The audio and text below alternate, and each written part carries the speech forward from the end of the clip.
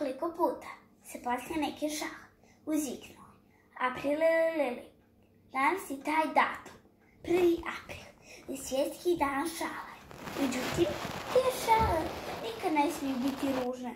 Ne smiju nikoga uplašiti, uvrijediti ili rislužiti. One moraju biti zabavne onome koji smisli i onome kome su namijenjene. A mi vas pozivamo da čujete priču 1. april.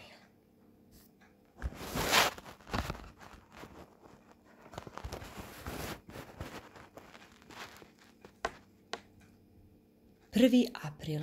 Ela Peroci. Čitav mjesec čekala su djeca prvi april.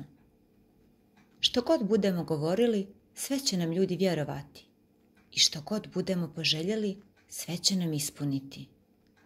Da, uvjerena su bila da je prvi april takav dan. Pa u aprilu se događa čak i to da istovremeno pada kiša i sija sunce. Izmišljali su kako bi se međusobno, a i svoje roditelje i učitelje iznenadili. Ali dogodilo se nešto što niko nije očekivao. Noć između 31. marta i 1. aprila bila je zaista duga. Već je dosta rano svanulo, ali se niko nije probudio. Svi su satovi tajanstveno čutali, pa čak se stornja ništa nije oglasilo. Nije ni radio započeo svojim programom.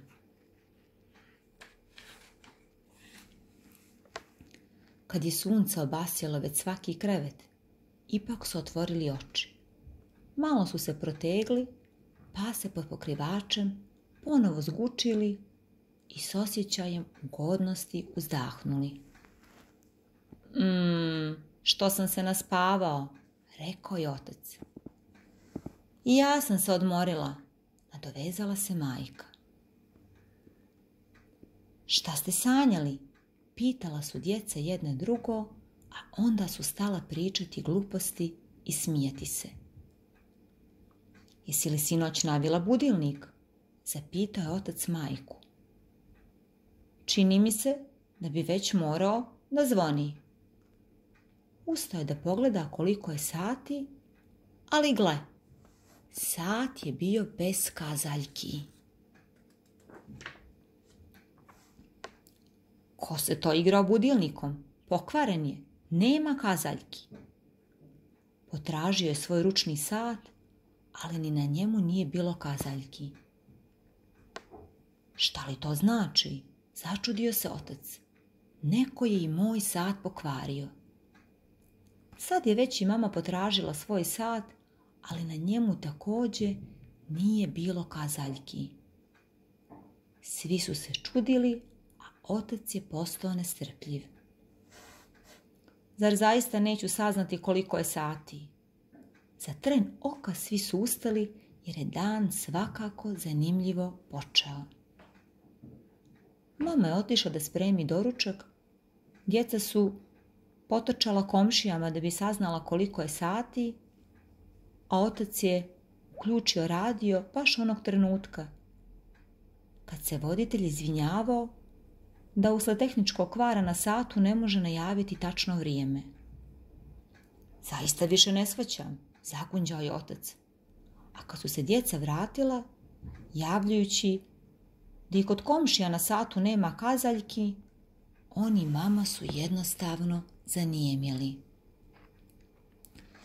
Događalo se tako po čitavom gradu. Svi su satovi bili bez kazaljki. Smijemo li ostati kod kuće? Pitala su djeca. Ali mama je savjetovala da pođu u školu. Možda učiteljica ima sat i već ih čeka. Tate i ja također idemo na posao.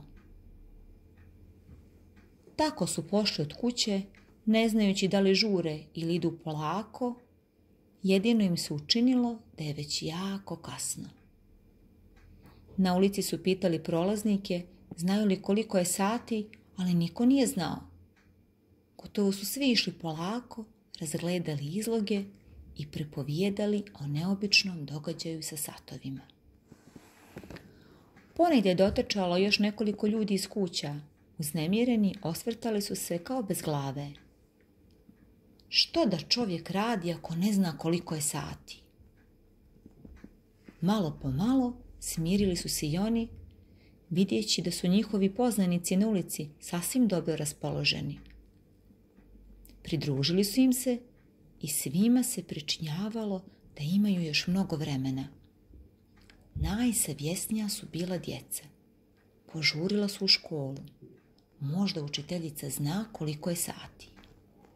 Stigli su u odjeljenje, ali su još dugo čekali učiteljicu. A kad je došla, upitala ih je. Draga djeco, znate li koliko je sati? Budući da niko nije znao, poslala ih je kući. Kako mogu znati koliko da traje jedan školski čas? Pođite kući. Na stepeništu ih je srela nastavnica muzičkog. Ne zaboravite, doviknula im je. Danas u šest sati uveče imate muzički nastup. Nemojte zakasniti i neka dođu sa vama i roditelji.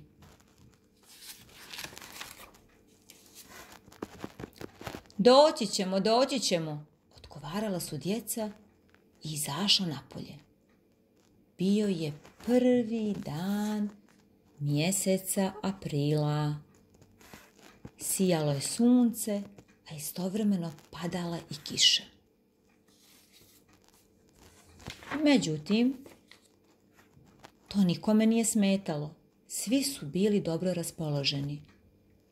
Djeca su povala kolo na sred ulice, pa nije prijetila nikakva saobraćajna opasnost. Automobili, tramvaj, trolejbus vozili su tako polako, kao da sanjaju. Možda građani još nikad u svom životu nisu bili tako srećni. Zamislite, nikuda im se nije žurilo. Nije se moglo znati hoće li stići u kancelariju, u radionicu ili u fabriku prekasno ili prerano. Ako ne znaš koliko je sati, svakako je svejedno hoćeš li svoj posao završiti danas ili sjutra. Neke prodavnice su bile otvorene, a neke zatvorene. Tako su se ljudi divno smirili. Nije im se žurilo ni na doručak, ni na ručak. Poći će već kad budu gladni. Isto tako mislile su domaćice. Pričekale su da se svi ukućani vrate kući i tek kad su ogladnjali, počele su kuvati. Dotad su gledala kroz prozor, a neke su pošli u šetnju.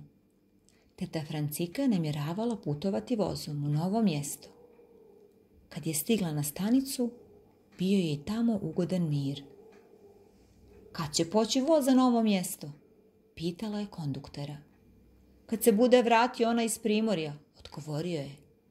Danas voze vozovi samo u jednom pravcu i to tek onda kad se prethodni voz vrati. Teta Francika još dugo čekala, ali dočekala je i bilo je ugodno. Oko nje se skupilo veselo društvo putnika koji nikuda, kojima se nikuda nije žurilo. Skretničari i konduktori šetali su se peronom i kolosjecima, a šef stanice postavio je stočić i stoličicu pred prvi kolosijek i tamo pio kafu. Bilo bi šteta sjediti u kancelariji kad je vani bio tako divan dan.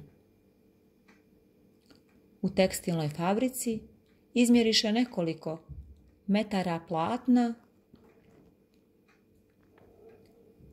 i bili su zadovoljni. Dosta je, rekoše.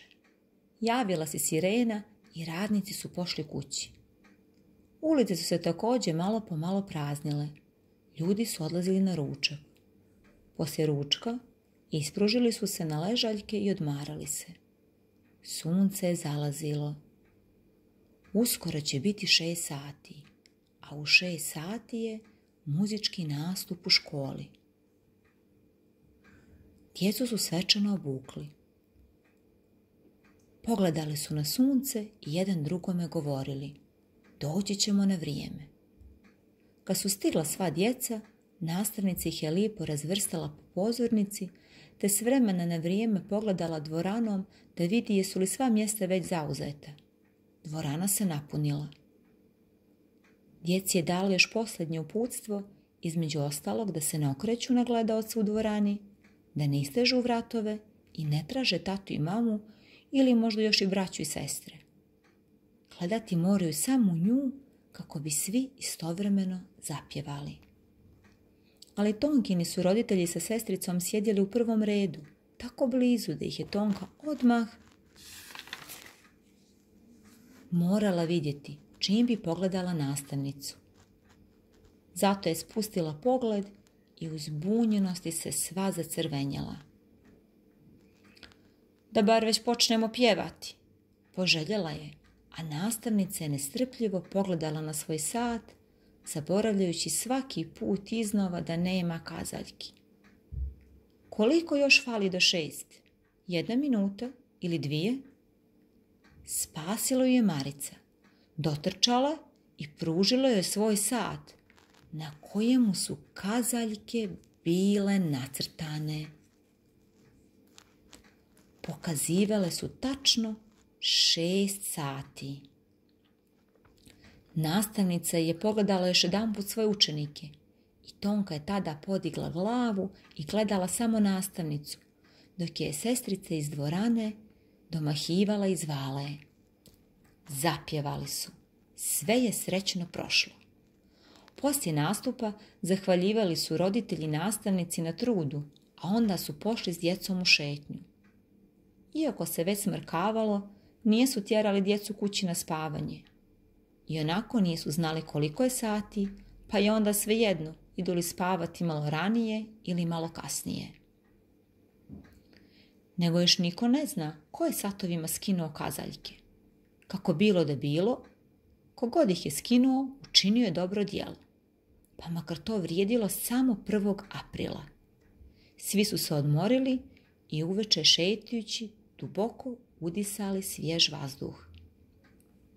Sat iz radio stanice odnešen je na popravak časovničaru, a časovničar ga je podesio prema Maričinom satu, koji je pokazivao tačno šest.